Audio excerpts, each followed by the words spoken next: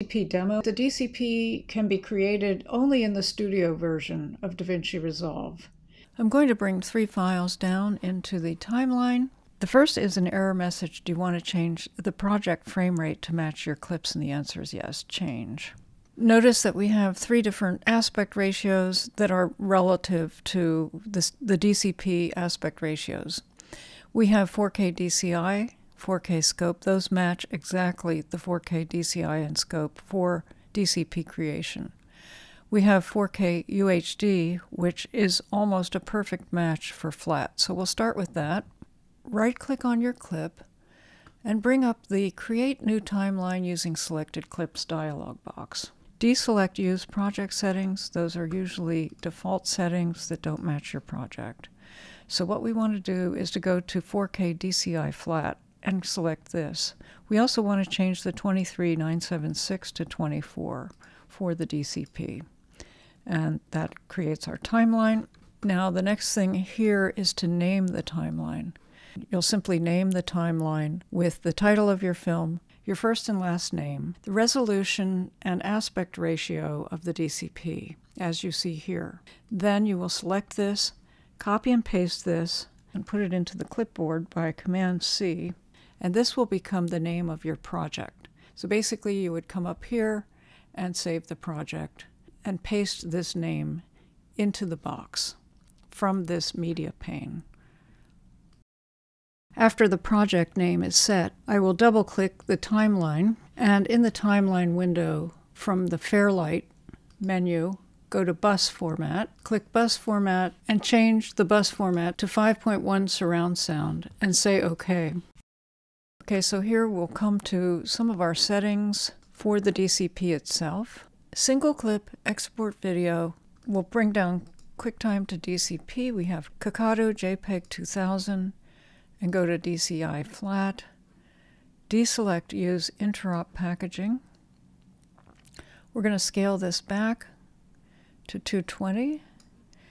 Leave disable on, quality automatic. So that covers this section. So here we are at the advanced settings window and we're going to leave the pixel aspect ratio data levels the same, color space tag and gamma tag same as project for both of those. Bypass re-encode when possible, we leave that checked. And down here, enable flat pass should be on with clip settings. That will recognize the clip settings here. This will recognize the color of your clips and preserve that. So now we're finished with the advanced settings. Now we can close the advanced settings and go to the composition settings. And I will set enable flat pass with clip settings.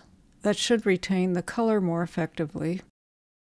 In composition settings, I will edit this and let's take a look at the settings. So we have the title of our project, we have the title of our film here, if it's two words, caps on each.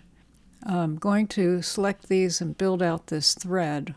It's 2D, it's 24 frames per second, English, territory, US.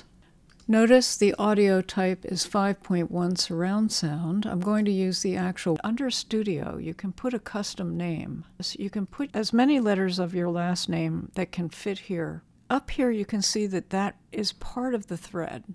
This is just a studio name. I'm going to put Doe here. The date, there's no facility. I will put SMPTE and OV. So when you come to the composition settings, these are the settings to note. And I'll just leave it here for, for you to note. We've gone over this before. Next, I will place my cursor here, Command A, Command C to copy, and Command V to paste in the file name. The file name will retain the full thread because this will be the name of your folder. So now the file name is taken from the composition name, and this will create the name of the folder for the DCP. Very important. Add this to the render queue.